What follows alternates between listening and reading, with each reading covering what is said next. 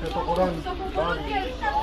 Cam de la un metru jumate, dacă nu mai bine o cu el. Incidentul s-a petrecut la un loc de joacă din cartierul Pipiric, zona selii polivalente din Caransebeș. Băiețelul de patru ani ar fi împins o fată de pe tobogan, iar mama acesteia a tras atenția mamei băiatului. Astfel ar fi izbucnit un conflict verbal între cele două. Băiețelul a împins o altă fată de pe topogan. Mama fetei s-a dus și i-a zis, mame, ai grijă că copilul tău mi-a împins copilul. Și a început să se certe, să înjure. S-a dus, l-a luat efectiv de pe topogan și așa avea cu el de Pe pământ. copilul ei. Pe copilul ei. Ceilalți părinți care erau de față au sunat imediat la 112. Polițiștii au ridicat-o pe femeia agresivă, iar medicii au acordat copilului îngrijiri medicale la fața locului. Băiețelul avea răni în zona capului la frunte, apoi a fost transportat de urgență la spital. Din fericire, nu i-a fost pusă viața în pericol. Mama a fost internată la psihiatrie pentru o evaluare. Mai grav este că vecinii individei spun că nu este prima oară când își agresează copiii.